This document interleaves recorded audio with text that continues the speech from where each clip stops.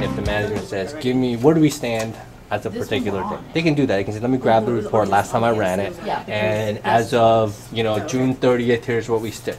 But if he says, where do we stand right now? Like this very minute. You're like, uh, no thanks.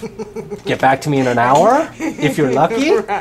You know, If you're mo- lucky. If you're lucky, most of the time, let me do it sometime later this week when I have time, and that's how most companies operate.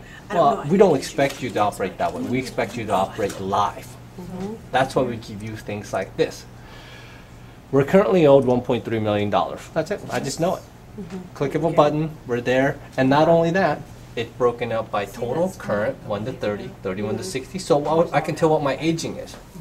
And one of the things that I was showing her is that I can do broken out by customer. So American Eagle Outfitters, yeah, they owe us total of seventeen thousand six hundred sixty-nine dollars. I can do better than that. Well, yeah, sure. I can group it by job site. So we can see on a particular job site, there was two hundred and forty dollars. On this job site, there was seventeen thousand dollars, and of that, eleven thousand dollars is within si- older than sixty days.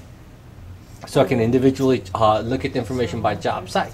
And they say, you know, can you get me that report? You say, good luck. And we- in ours, we just simply, yeah, sure. Collections report, detailed, here you go. Collections report with a customer name, fax number, so you can call them and say, hey, on this particular job site, this project on West Magnolia, you owe us this much money. Okay? You can also do simple things like, you know what, I want it for the whole customer. I can do a collections report, so I can do a collections report in detail, and it gives me a detailed breakdown of every job site, you notice everything is grouped by job site. And this customer said, you know what, okay, I'll pay you, but send me a statement.